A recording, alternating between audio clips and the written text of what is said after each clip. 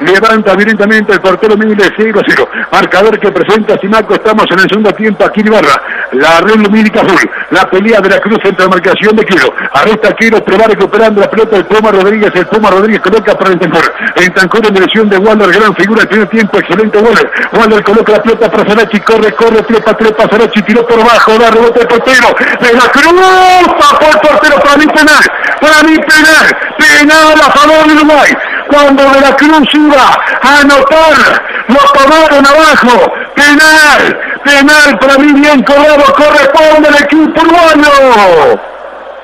Y sí, señor, una muy buena jugada. Sarachi, que no había tenido una gran participación, aparece, aparece con buena forma y además se queda con 10 por la expulsión de Quero. Segunda amarilla para Quero, se queda con 10. El equipo venezolano, vamos a ver qué acontece con la ejecución del penal. Una muy buena ocasión para agarrar el sartén por el mango. Una muy buena ocasión para ponerle la manija al partido. Después de una muy buena llegada, penal bien sancionado ha colocado la pelota en el punto penal de la Cruz. A él se le hicieron y él va a rematar. Tomando como referencia el estadio centenario, harto de la cabecera Colombia, cielo encapotado. Aquí en Ibarra, el partido Farinés que recibe indicaciones de árbitro chileno, Roberto Tobar, es un buen golero, eh, Farinés, pero el árbitro la dio muy bien, eh, porque iba a anotar, de la Cruz lo tomaron detrás y le dio tiempo al portero a reaccionar. De la Cruz va a tomar la pena máxima. Esta es oriental directa vía satélite campeonato sudamericano, categoría sub-20, una treintena de uruguayos emocionados al ver cómo vendrá este penal. Ojalá con linda culminación de la Cruz tiró con la carla, picó, rebota, entró a Maral, infectado a Venezuela, tiró a picarla, tiró a picarla de la Cruz, notable el portero Farinés. Esto puede ser un golpe psicológico tremendo para el partido. A lo Abreu, a lo Abreu la quiso de la Cruz. Espectacular reacción del meta venezolano que Flor de Gomero. Había adivinado el rincón, había adivinado el palo, iba hacia ahí, algo abajo.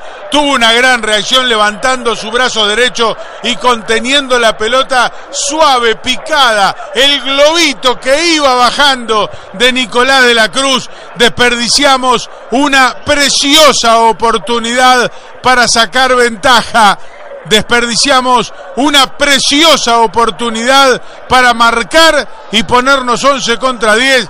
Eligió esa forma de definir Nicolás de la Cruz. Esperemos que no afecte al equipo, pero que no lo afecte a él. Hasta ahora, la figura del equipo.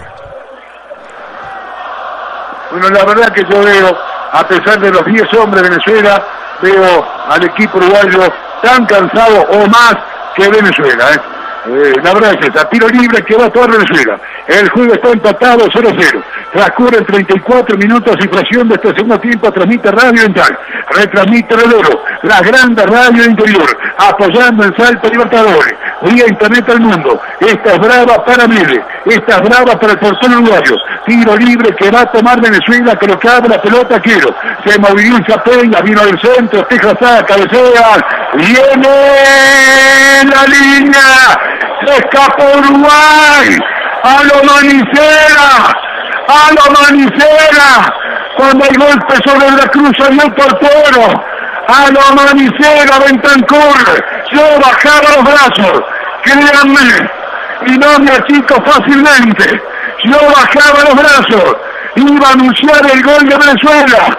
En la línea, como el exquisito Manicera, Rodrigo Bentancur en la línea, sacó la pelota, todas las miradas al primer asistente Orellana, Orellana dijo que el fútbol siguiera con 10 hombres, casi pasa a ganar Venezuela. Impresionante cómo la quitó Bentancur. La sacó del horno Bentancur en un gesto técnico fantástico, con determinación, con convencimiento, fue seguro y con la zurda evitó la caída de Uruguay. Bueno, 47, 59, pitó el árbitro chileno, terminó. Acaba de terminar aquí en Ibarra el primer partido de Uruguay y de Venezuela. 0 a 0. Uruguay jugará la revancha el próximo sábado. Protesta Uruguay. Ahí está Facundo Waller reclamándole algo a la terna arbitral. a ver, lo que dijimos antes, Uruguay debió llegar algunos días antes aquí a Ibarra. Segundo, los debuts para los equipos uruguayos son siempre complicados, en cualquier tipo de generación.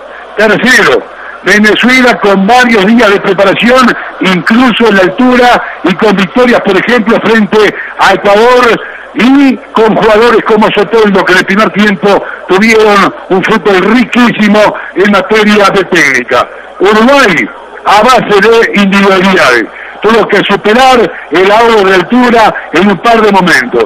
Cuando lo supera, cuando entró Amaral, se fue el Botija Rossi, tuvo una actitud más agresiva, más intensa, más arriba, llega el penal, penal bien cobrado, Venezuela queda con 10, la aplica a lo Abreu, el Botija Nicolás de la Cruz, que después sintió el impacto de la tajada del meta venezolano Farinés. Y bueno, después de la Cruz bajó notoriamente, producto del impacto de malograr un penal su nivel, vino el cambio de Ardáiz, se fue Chiapacase, que la primera parte había tirado una pelota magníficamente que devolvió la base del vertical derecho. Igualmente no lo vimos fino en altura hoy al atacante neto que pertenece al Atlético de Madrid. Ahí se hablan los muchachos uruguayos, ahí se abrazan, se estimulan para el partido de pasado mañana nada menos que frente a la selección de Argentina.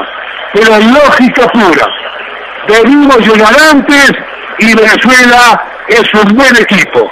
Colectivamente, colectivamente, hay que mejorar muchísimo. De aquí en más para lograr primero la clasificación y después, naturalmente, en el Sabenar, la clasificación para el Mundial y el sueño natural después de tantos años del campeonato.